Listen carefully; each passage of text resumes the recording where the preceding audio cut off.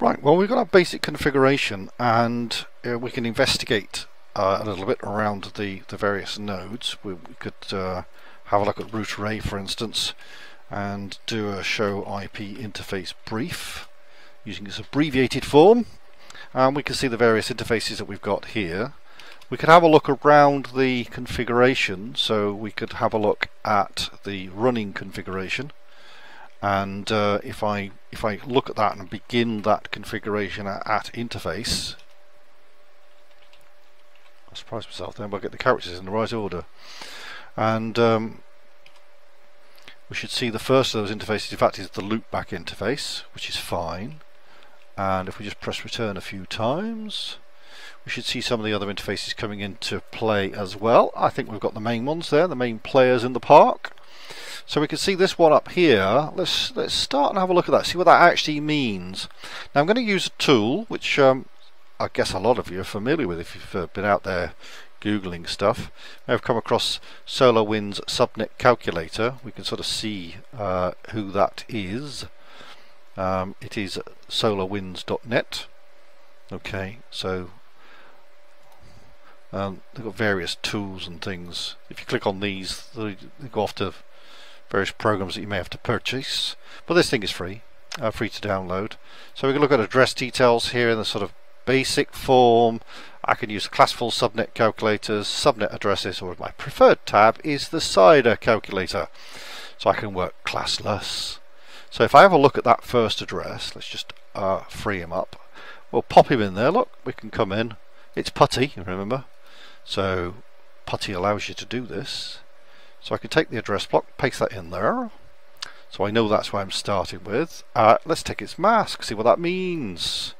Okay, so highlight it in PuTTY and drop it in here. So let's see if it pasted. No. Okay, so what does that mean? 255, 255, 255, 255. Well, that means all ones, isn't it? Well, we can find it. Here it is, look. Dub, dub, dub, dub, dub, dub. There it is, right at the bottom of the list. What it actually means as well is it's a mask of 32 bits slash 32. So how many networks are there? Let's see. If we hit the generate subnets button here, we'll find there's a subnet of 1. And there's a range of addresses from 172.19.1.10 to 172.19.1.10. And that's it. That is the network. That is it. So really what it's saying is, of course, that's a host address. There is just the one. Fine, because that's what a loopback address is all about. It is the one. Now, let's have a look. Let's bring that down. And let's see what we've got here. Well, we've got a fast Ethernet 00. So let's take its IP address. And paste that in. Let's change its mask. So let's pick it from the list, if you prefer. So we can see there. And we can see that's a slash 24. What, what you could have done you simply just come in here and do slash 24 it would have achieved the same thing. Now slash 24 remember before we only had one host. If I hit the generate subnet button we've got a single subnet still but the subnet size is now 254 well it's an 8 bits isn't it? From from slash 24 to slash 32 is 8 bits and those 8 bits correspond to a subnet size of 254 so there's the mask. Actually there's the inverse mask if you do things like OSPF that's useful. 192.168.250.1 to 192.168.250.254 that is the range. And then the, the broadcast is of course the highest value. Good. So if you like the lowest value is the network the highest value is the broadcast and then the values in between are the hosts hence the 254. Excellent. Good. So that's a single network. So that's fine. Let's let's have a look a little bit further down. So if we scroll this down, there's serial 00 look. And if we take its IP address and paste that in, based on what we've learned, oh, hang on a minute, that's a bit more difficult. I don't know what that is. What does that mean? Well, let's match it up then. So we need to see that value in here. So it's 240 in the last octet look. So that corresponds to slash 28. Ah, that's right. Because if we go back to the diagram, that's a slash, whoop, that's a slash 28. Good. It's it's what it should be then. Okay, so if we, we bring those uh, back in again, let's bring the subnet calculator back in. Okay, so slash 28, that, that, that's right. Let's hit the generate subnets button. It's just one network. Ah, right. So all I'm creating is single networks at this moment in time. I was expected to see some sub-networks. Well, to get the sub-networks right, what you need to do is you need to change your starting position.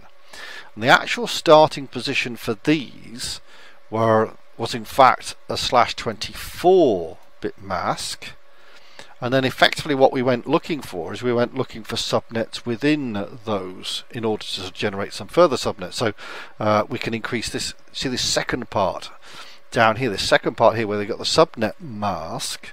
So this is the extension of that. So instead of being 24, let's do 28. Now let's generate the subnets.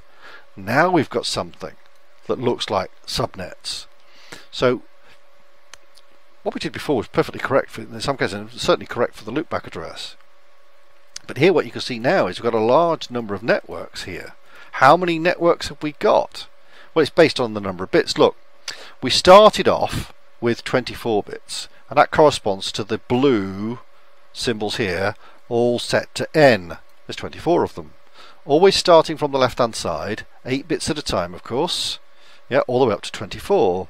So what we stole, because to generate the subnets we've stolen bits, we've stolen from 24 to 28. So we've gone from 24 to 28. That means we've stolen these four bits. The steal bits or subnet bits. And we've left some bits behind for hosts. But we can see that. In each of the networks, here's the first of those networks, if we come along we can actually see within that we've actually got a number of hosts. And those hosts here start from 1.1 all the way through to 1.14. They're a subnet size of 14, so there'll be 14 hosts per. That's because you get a network or subnetwork. So you see this value on the left hand side. Then you get the host range. Yep, so you see all the hosts down here. Okay, they're all ranged at 14 each, but of course you've got different values because they start from their subnets on the left hand side. So 0 to start off with. So that means the subnet range is from 1 to 14. 16 is from 17 to 30 because it's 16 plus 1 is 17 to 16 plus well, 14 which of course is 30. The next value up of course is always the broadcast address. So the lowest value is the subnet, the highest value is the broadcast. Plus 1 is the next subnet so that's how you'll sort of find your way around. And of course this also gives you the mask and the inverse mask as well to play with. Good. So when you're doing anything sort of and, you, and you're you're creating subnets and you're subnetting, then what you're doing is you start from somewhere and it doesn't have to be classful. Forget that those old classful boundaries. You start somewhere and that's defined probably by your ISP your internet service provider or your, or your IT function. They will say right this is your starting point. This is your start mask. Now subnet off of that. If you're allowed to of course. They might already be doing that for you. But if you're allowed to they'll give you a starting point and then off you go. And then you could start to range off from there. And that's exactly what we did.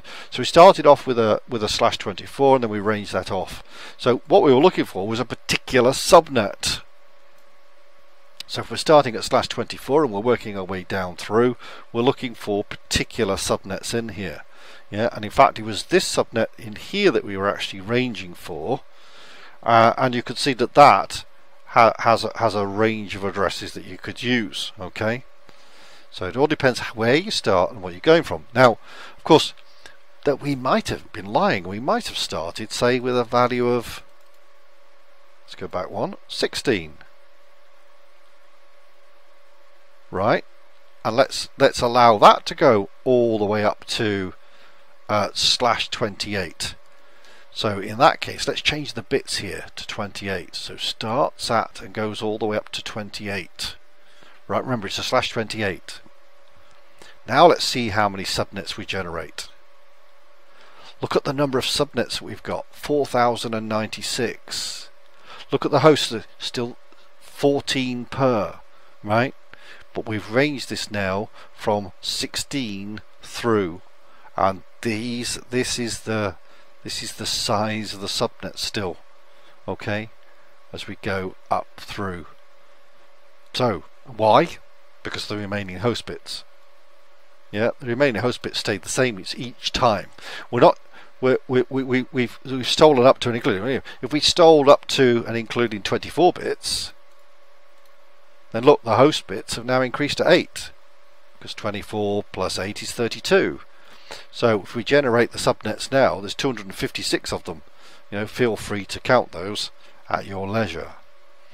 So when you go round and have a look at the addresses, what we need to do is we need to know what the start point was, and then we need to then move from that start point out in terms of uh, in terms of the the number of bits we steal, which is the subnetting bits, and then the number of bits we leave behind. Because it's important to leave enough bits behind leave behind enough host bits in order to obviously um, facilitate the number of hosts that you actually need in each and every one of those subnets. So I'm changing here, I'm changing the mask length. What should we change the mask length to? Let's bring that up to 28. Again, let's change the start menu. You could change the start point all the way back up to 8 if you wanted to, or even beyond. And again, depending upon where you start, that's that's got a range. In fact, we need to change that again. That's going to range that. And again, you can see here, I could go further. Look, I could go to 30. Look what it does to the number of hosts. So we generate the subnets. We've got 64 subnets. A reasonable number to look at. But look what it's done. The number of hosts we've got is just two per, per subnet.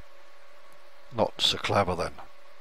But of course we can then use these to change the number of bits. So if we want to increase the number of hosts, just change the host bits. Let's change the host bits to 3. That's something different because it changes the mask length maximum 29 starting again from 24 so this time we've got 32 subnets. Each subnet has the same number of hosts six in this case because of the remaining three. Would have been eight but you lose one because that's your broadcast and you lose one because that's your subnet so it's important we know where the starting point is, and we, we, in order to be able to establish precisely, you know, what this actually means. You know, what these values sort of stand out to be. Okay, so we can see here, you know, 169 through to 170 and 161 to 162 have to sit within the realms of the slash 28 subnets.